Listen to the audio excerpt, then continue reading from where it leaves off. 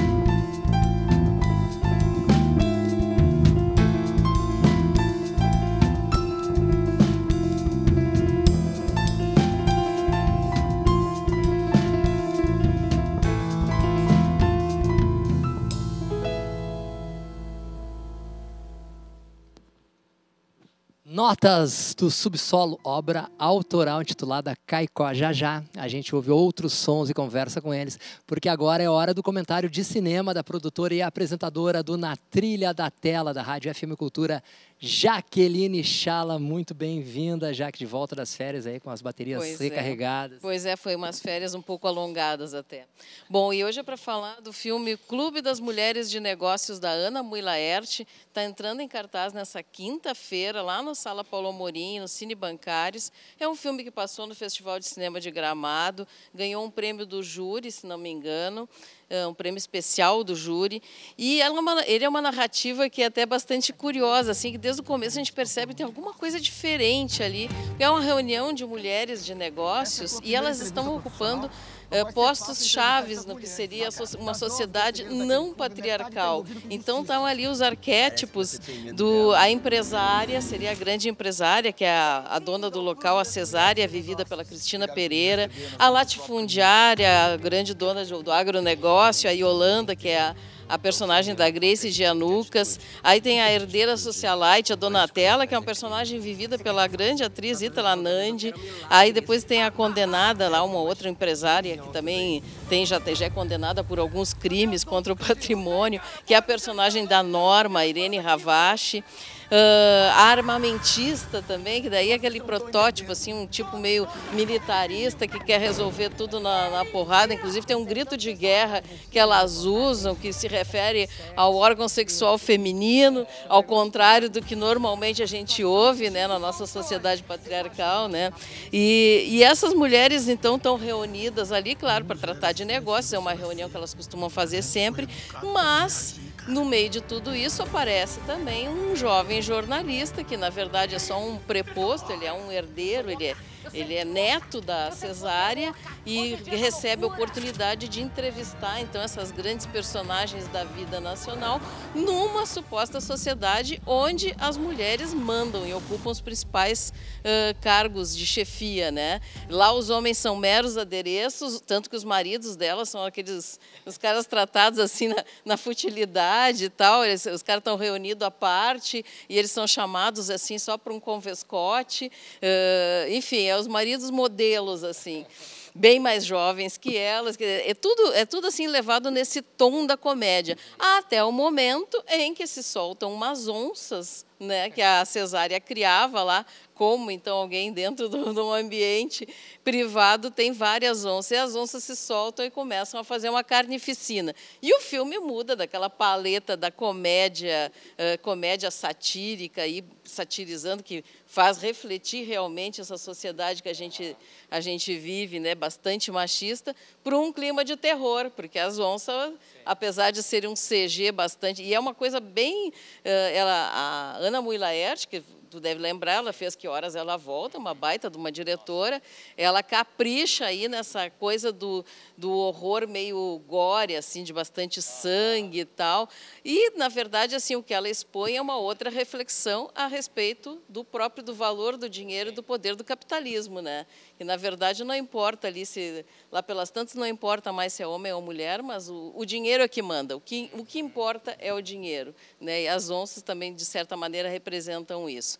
Claro, o filme carrega um pouco nessa, até nessa coisa da, da, da, caricatura mesmo, ela força um pouco a barra e as piadas lá pelas tantas ficam um, um, tanto repetitivas. Mas realmente é bem interessante tu ver essa, essa crítica que ela faz ao tipo de sociedade, à maneira como os homens levam a sociedade e as mulheres, né, esse papel secundário sempre que são obrigadas a desempenhar e como seria então o reverso disso, né? É aqueles memes que a gente vê, né, de um machismo reverso. Então tá tudo ali, né, no filme da Ana Mui Laerte, o Clube das Mulheres de Negócios, que entra em cartaz nessa, nessa quinta-feira. E eu volto a falar de cinema no sábado, no Na Trilha da Tela, com o filme Sensação do Momento, que é Ainda Estou Aqui, do Walter Salles. E a gente vai rodar a trilha sonora do filme, que é um dos grandes elementos desse longa-metragem do Walter Salles, que está lotando os cinemas por aí, e que conta um pouco da história. As músicas também fazem parte dessa narrativa, isso que é mais bacana no filme. Legal. Sábado, seis da tarde. Seis da tarde. FM Cultura. Já vale pelo elenco aí, né? A tua, tua dica de hoje. Que baita sim, elenco. Sim, sim. O elenco é sensacional. São ótimas atrizes e tudo. Valeu, valeu, Jaque. E neste, neste final de semana rolou o Festival do Japão RS, evento que homenageia a cultura japonesa com um monte de atrações. E a gente foi lá ver de perto. Confere aí.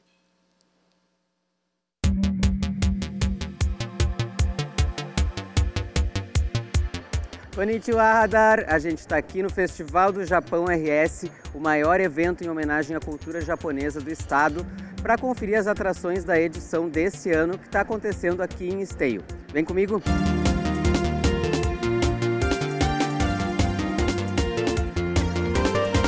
Já estamos na 11 edição, né? E daí começou de um, de um evento bem pequeno e chegou a esse evento com 70 mil pessoas, né?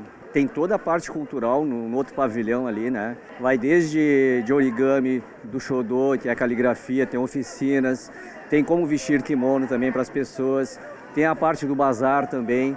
No outro pavilhão tem a culinária japonesa, são 20 restaurantes.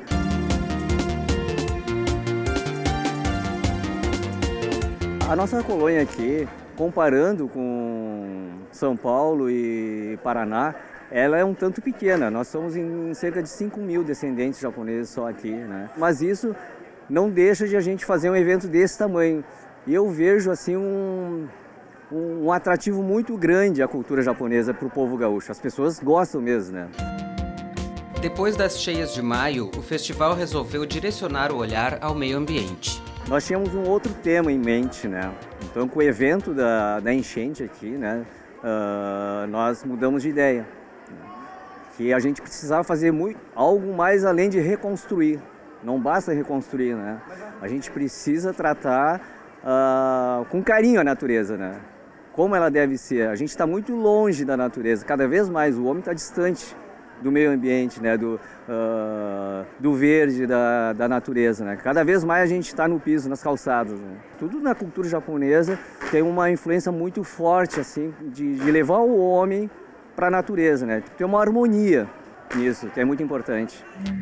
Um dos principais destaques do festival é a parceria com o Anime Buzz, maior evento de cultura pop japonesa do sul do país. O Anime Buzz é um evento que acontece desde 2010 em Porto Alegre. É um evento que ele é focado na temática, digamos, jovem, a cultura jovem do Japão cosplay, anime, mangás, videogames. E em 2012 nós fomos convidados a participar do Festival do Japão e desde então a gente nunca mais se separou. A Universe está presente em todas as edições do Festival do Japão, eu faço parte também da comissão e ajuda a organizar como um todo. Aqui no Animebus a gente tem seis concursos, tá? Concursos de fantasia. Tem concurso tradicional, concurso de inovação, tem concurso pet, o pessoal traz os pets fantasiados, tem concurso para as crianças até 12 anos. Então o auge aqui no, no espaço do Animebus são os concursos, concursos de fantasia. Tem shows de banda também que tocam músicas de abertura de anime, de videogame e além do concurso as bandas são as brincadeiras que acontecem aqui no palco principal.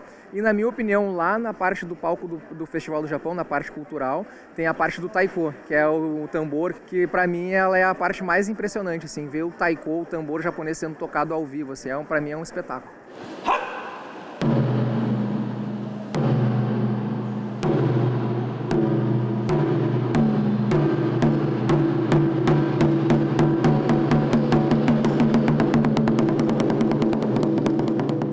Passeando pelo pavilhão do Anime Buzz, a gente encontrou a Ana, que tem uma relação especial com o cosplay, a prática de se fantasiar de personagens.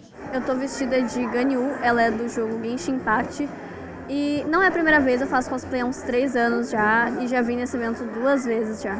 Eu comecei porque eu me interessava muito pelas personagens, eu queria muito poder me vestir como elas, assim, tornar elas real. E eu comecei a vir nos eventos de cosplay por conta do meu irmão mais velho, que não veio hoje, mas ele faz fantasia de cosplay de Homem-Aranha. E aí eu descobri que esse universo é muito acolhedor, as pessoas te acolhem muito, é um lugar que tipo assim, não tem ninguém para te julgar, tipo assim, um, um momento em que todo mundo se entende, todo mundo se conversa, faz amizade muito rápido. E eu tenho o transtorno espectro autista e eu me sinto muito desencaixada. Só que nesse lugar eu me sinto bem, eu me sinto acolhida pelas pessoas da comunidade de cosplay. Então é isso que me atrai, as pessoas, por como elas são carinhosas umas com as outras. Arte, culinária, diversidade, expressão. O Festival do Japão RS reúne a multiplicidade de uma cultura vibrante que dialoga com os mais diferentes públicos.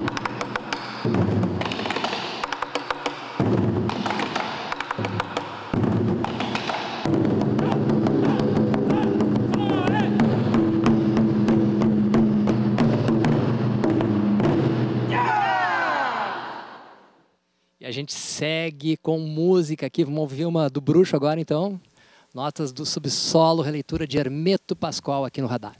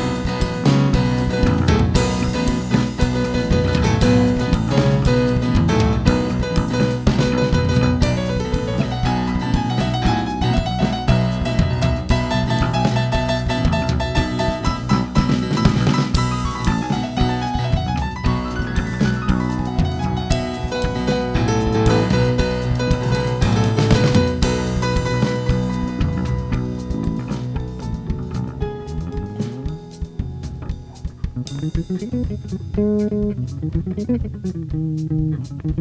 you.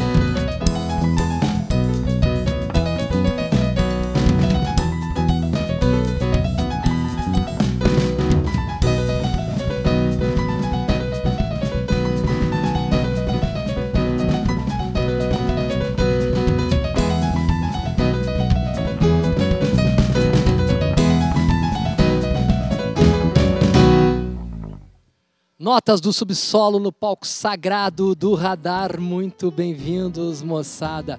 Pega o teu mic aí, André, já aproveita e apresenta o teu. Tá, aberto, tá, tá ligado, acho. Apresenta os teus, teus comparsas aí pra gente, conta um pouquinho da formação musical de vocês, o que, que vocês faziam antes da Notas, como é que se encontraram, como é que formaram esse trio também. Então, é, nós somos aqui o Fernando Luzardo, o Wellington Souza, meu nome é André Heck.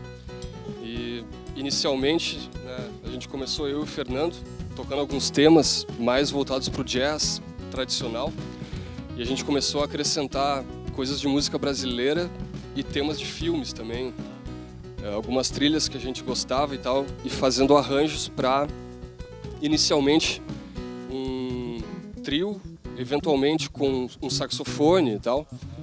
É, daí agora a gente está algum tempo nessa formação, né, piano, baixo, bateria, assim. E às vezes a gente convida um quarto músico né, para participar.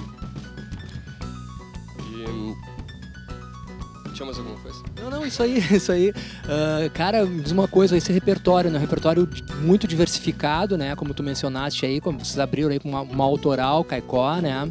E tocaram um ovo aqui do Hermeto, vamos terminar com Black Sabbath, né? Falando um pouquinho desse repertório, que mais que entra aí, que clássicos da MPB, que standards do jazz vocês vêm tocando, também que temas, fiquei curioso aí, que temas uh, do, do cinema aí que vocês estão executando. Então, a gente está tocando desde Black Sabbath, né, versões que a gente foi fazendo arranjos e tal. A gente toca um tema do Arthur Maia, né, o grande baixista. Aí o Fernando nos trouxe as referências dele. É, a gente toca de temas de filmes. A gente toca o tema de 007. A gente toca o tema de Taxi Driver. É, né, é, a gente toca é, Manhã de Carnaval, A Noite é a do italiano, o uh, Ângelo Badalamenti. Enfim, tem várias coisas de cinema nesse repertório, né? E de música brasileira também tem um, um João Bosco, a gente toca em compatibilidade de gênios. Então dá para dizer que é muito diversificado, ao mesmo tempo que a gente tem coisas do jazz bem tradicional, assim, é, né? John Coltrane, é, Charlie Parker, Art Herb Hancock, Art Blake, é coisas bem tradicionais assim, né? Que serviram mais de base para o início uh, do repertório, né? A formação dele. Vamos falar então dessa autoral aí que surgiu aí, Caicó, como é que ela foi composta, também como é que é essa pegada de executar, de uh, arranjar, digamos assim, uma música nova, uma música autoral, uma música própria, né, e revisitar uh, músicas já conhecida do, conhecidas do público? Então, a parte de arranjo de coisas que já existem, né, ela se dá muito no sentido de, uh, digamos assim, adaptar uma voz para um trecho do piano, né, ver como a gente vai conseguir organizar, talvez o que o baixo, a guitarra fariam, ou algum outro instrumento, mais melódico, né? Que no caso aqui a gente está com uma, uma, formação mais, né? O piano ele dá uma, ele serve um pouco de coringa, mas e e por exemplo essa composição que a gente está trazendo, ela meio que derivou de tudo que a gente está tocando nesse repertório, né? Tem muita música, tem muito de música brasileira nela e também tem umas coisas de um compositor que eu gosto bastante, que não tem, que escreve um pouco para piano também, que é o De Fala. O, é o uh, que eu trouxe algumas ideias assim, né? Principalmente essa coisa de uh, de misturar até um pouco de música erudita, assim, né? No, no arranjo, né? Na criação dele. E é isso quais são os espaços hoje para a música instrumental uh, também essa, falar dessa opção como é que vocês se situam assim dentro do, do, do mercado musical né o próprio nome né notas notas do, do, do subsolo faz referência direta a um, a um romance do Dostoiévski né que tem um o anti-herói ali, aquele arquétipo, né? O cara de, com a dificuldade de lidar com, com a realidade em torno dele. Como é que vocês se situam, né, fazendo música instrumental dentro do mercado musical? É, enfim, é, é um mercado né, um, talvez um pouco restrito, mas a gente tem alguns lugares que a gente acaba tocando regularmente Sim.